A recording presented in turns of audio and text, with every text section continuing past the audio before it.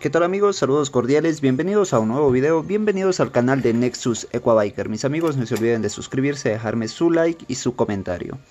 El día de hoy vamos a estar viendo problemas con la cadena, cuándo saber cuándo ya no sirve nuestra cadena y cuándo cambiar. Esto parece bastante sencillo, pero como se ve muchísimas personas no están al tanto de cómo funciona y pues le dan hasta que la Catalina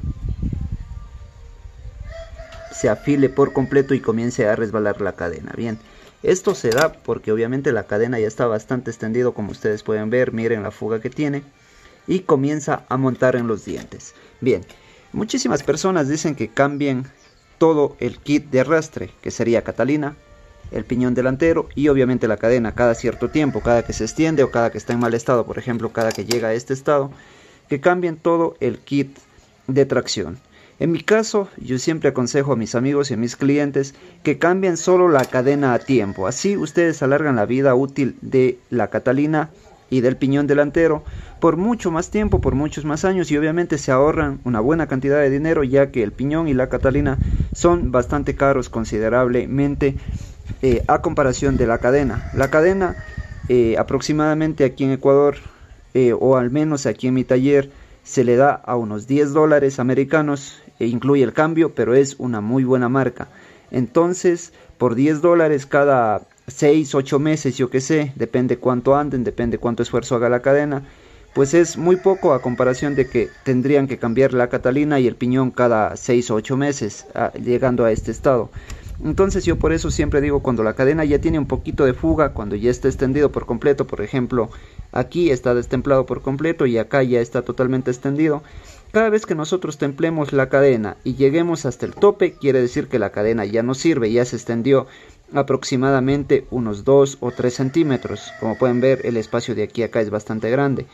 Quiere decir que la cadena ya no sirve. Entonces, cuando nosotros lleguemos, ponemos la cadena nueva, recorremos todo para adelante y luego, eh, ya cuando estamos llegando aquí, templando la cadena, Quiere decir que nuestra cadena ya no sirve y la descartamos y cambiamos solo la cadena.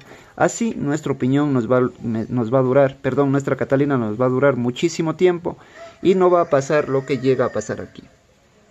Créanme que muchas personas dicen que cambien el kit de arrastre completo. Yo en mi caso he visto que es mucho más conveniente cambiar solo la cadena cada cierto tiempo para que no llegue a dañarse e incluso nos ahorramos bastante. ¿Por qué?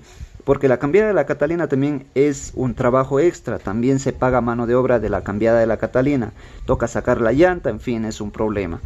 Eh, y eh, obviamente nos toca comprar una Catalina nueva, nos toca comprar un piñón delantero nuevo y eso es un gasto extra. Entonces mi consejo es que cada vez que nosotros cambiemos la cadena, recorramos hasta el tope y la dejemos templada.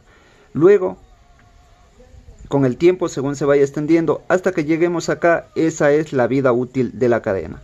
Puede ser que nos dure un poquito más o un poquito menos dependiendo de la calidad de la cadena, pero siempre que llegue acá quiere decir que se extendió 3 centímetros y la cadena ya va a estar un poquito cediendo, ya va a estar un poquito floja y pues obviamente ya nos va a comenzar a afilar la Catalina. Entonces mis amigos, a tener mucho en cuenta esto, así se pueden ahorrar ustedes unos dólares y así pues eh, no causamos este problema. Miren cómo esta fuga que tiene la cadena está demasiado extendida, por eso comenzó ya a montar la Catalina. Y eso hace que obviamente nos toque cambiar todo esta Catalina y todo el piñón. Mis amigos no se olviden de suscribirse, dejarme su like, su comentario, también su duda en comentarios para tratar de ayudarles en lo que más se puede. Bien, entonces nos estamos viendo en un próximo video. Saludos cordiales.